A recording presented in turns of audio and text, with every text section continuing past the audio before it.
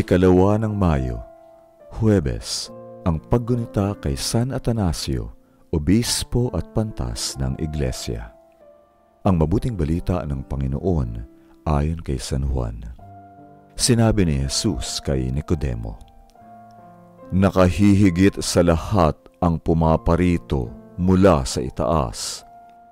Makalupa naman ang mula sa lupa at makalupa rin ang usap niya.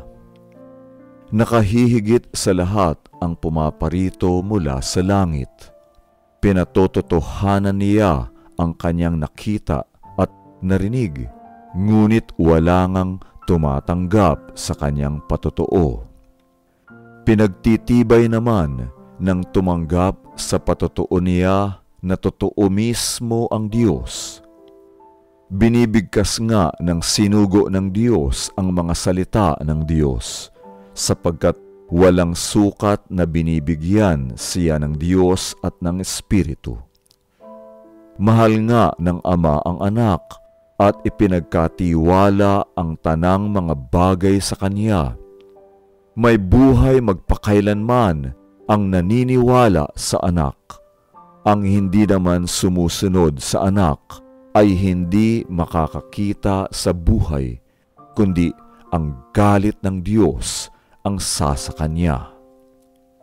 Ang mabuting balita ng Panginoon. Pagsasadiwa, may buhay magpakailanman ang naniniwala sa anak.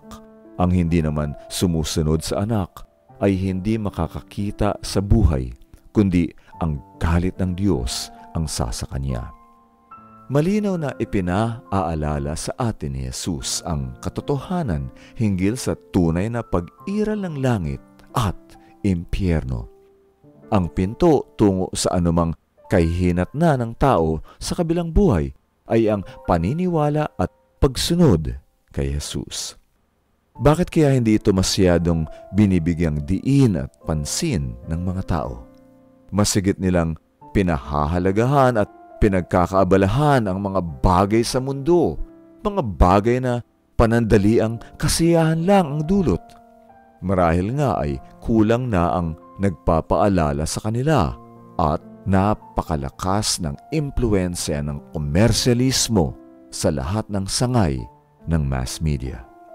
Pagsasagawa, bigyan lagi natin ng kaugnayang makalangit ang anumang gawain at mga plano natin dito sa lupa upang sa gayon ay gabayan pa rin tayo ng pananalig sa Diyos.